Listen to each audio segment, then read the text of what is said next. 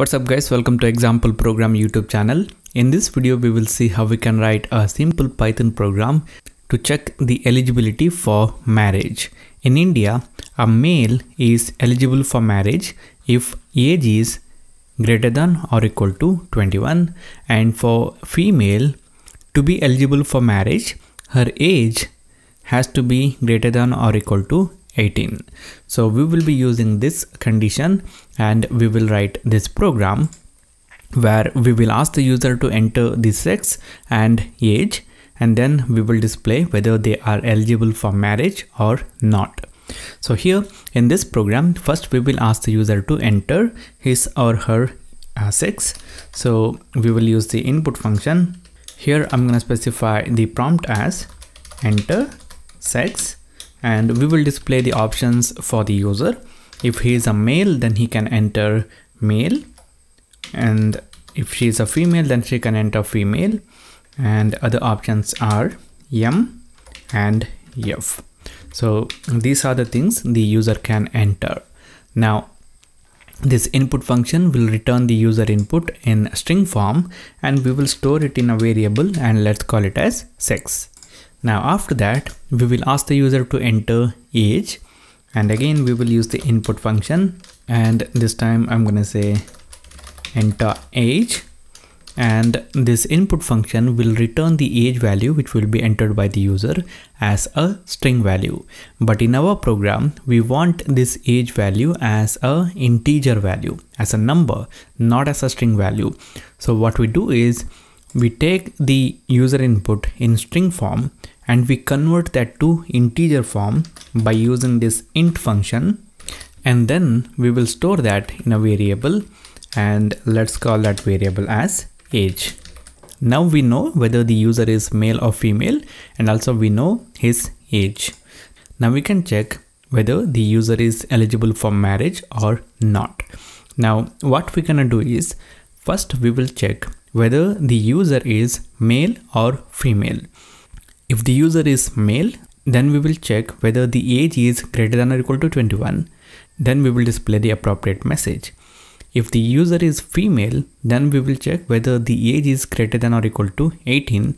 Then we will display the appropriate message. Since for male and female, we have different age criteria.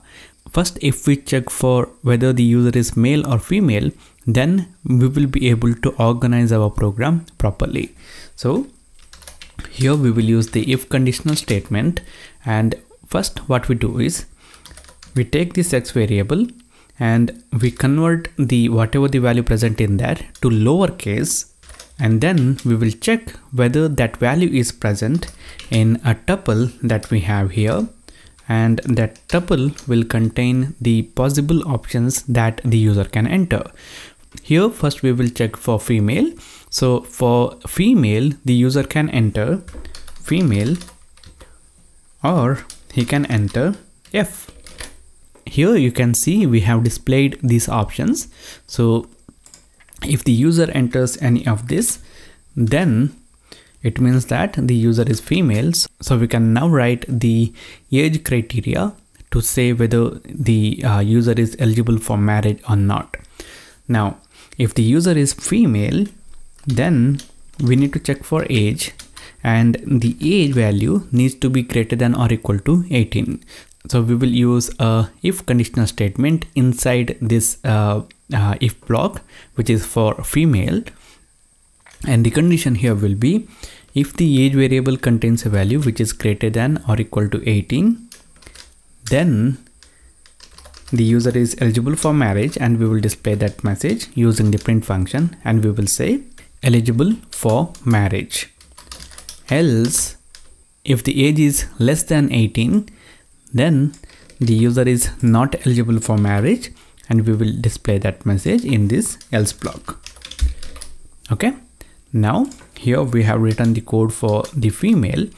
Now we will come out of this uh, inner if else and in this outer if statement we will have a elif block which is for male. So here we will have elif and the condition here will be first we will convert the sex variables value to lowercase. And then we will check that value in a tuple which will contain the options that we have for the male. So if the user is male, then he can enter male or he can enter yum. Okay. Now, if the user is male, then the age has to be greater than or equal to 21. So what I'm going to do is I'm going to copy this code. I'm going to paste it in here and we will change the age value here. So we will make it 21. So if the age is greater than or equal to 21, then the male is eligible for marriage. Okay. And uh, if the age is less than 21, then he is not eligible for marriage. Now, here we will have a else block and this else block is for uh, the wrong user input for the sex value. If the user is going to enter uh, input other than any of the uh, options specified in here, then we will display a message stating that we don't know.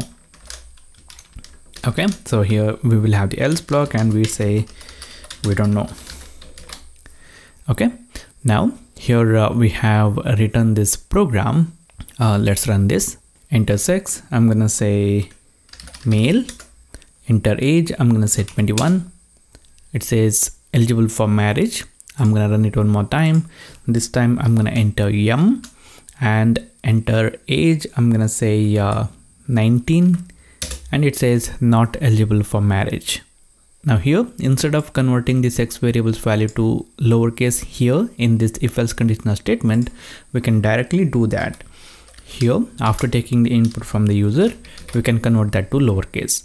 So now here we can only have the sex variable now if I save this program and if I run it one more time this time I'm gonna enter female.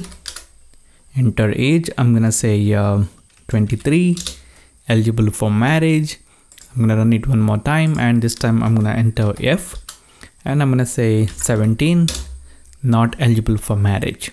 I'm gonna run it one more time and this time I'm gonna enter some other value for uh, uh, sex and I'm gonna say age is uh, 20 it says we don't know now if you look at this code here then if we can use a function which can check for the age and display the eligibility then we can eliminate writing this code two times so what I'm gonna do is I'm gonna define a function in here which will check for the age value with the certain age limit and it will display whether the person is eligible for marriage or not.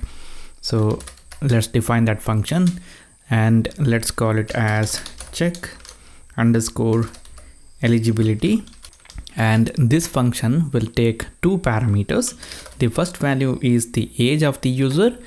The second parameter will be the age limit and inside this function what we want to do we want to check for the age value and we want to display the appropriate message so if the age value is greater than or uh, equal to age limit then we will say eligible for marriage. Else then we will say not eligible for marriage. So now here what we can do is instead of writing this code for male and female separately we can call this function and we can pass in the age and the age limit. So i'm going to remove this code and i'm going to call the function check eligibility. And here we need to pass in the age value. And then we need to pass in the age limit. So the age limit is for female 18 so now similarly for male also we can do this. So here we will call the function check eligibility. And we will pass in age value and the age limit which is 21 okay. Now here we have uh, modified this program and we are using this function at the moment and if we run it we should get the same result. So let us say female and age is uh, 20 it says eligible for marriage. If I run it one more time and if I enter um, male and age is uh, 18 then not eligible for marriage if I run it one more time and if I enter some random uh, value for sex and if I enter the age as 25 it says we don't know. So this is it guys for this video. Thank you for watching. If you like it then hit the like button. If you don't like it then hit the dislike button. If you want to say something then uh, write that in the comment box.